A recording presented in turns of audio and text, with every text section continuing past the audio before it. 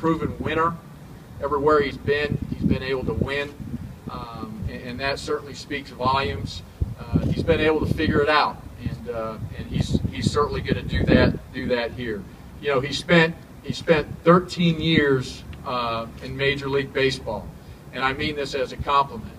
Uh, probably should have only spent five, and and was found a way to work hard, outwork everybody, um, overachieve, all of those things, and spend 13 years in, in, major Major League Baseball. And I think that that is a great, great accomplishment.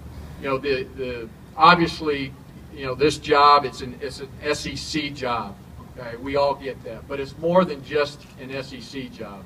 This is a Midwest job as well, and and you've got to understand the the Midwest and the landscape and and where to recruit and how to find players and, and those and those connections and those relationships.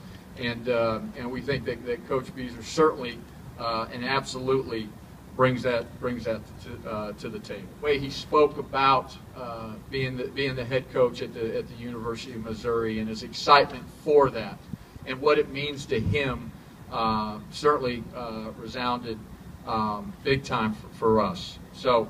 Um, as I mentioned, we are extremely, extremely excited uh, to, uh, to introduce our fourth in the last 79 years and uh, overall 14th head baseball coach of the University of Missouri. And let me introduce your family, your beautiful family. You're, you're a heck of a recruiter. Um, but Diane, Cole, Whitney, Riley, and Carly, thank you for being here. Coach Bieser, come on up.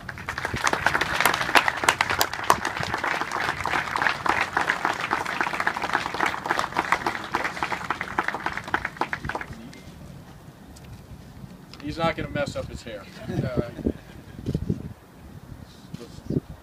that I hang my hat on these four cornerstones.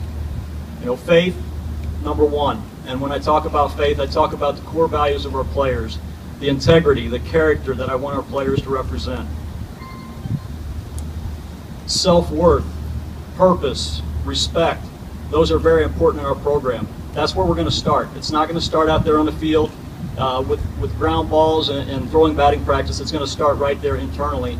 And those, that's something that we're going to be extremely strong in. The faith that we believe that we can do anything.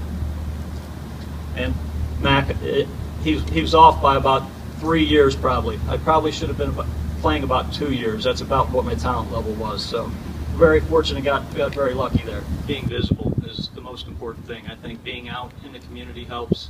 Uh, I think it starts with our student body, of, of, creating some interest inside the student body. And, and uh, you know, I think there's things that we can do here that, that we've seen, you know, that, that I've seen competing against other SEC schools when I was at Southeast of what they do, how they generate that fan interest and, and finding, you know, what they so they call party decks and stuff like that, of being able to do something like that to get interest and get people out. Because I think once we can start getting people out and we can get that momentum going where uh, we're winning ball games. It's, a, it's an exciting atmosphere. It's a great place to be. More and more people follow, and that's that's the goal.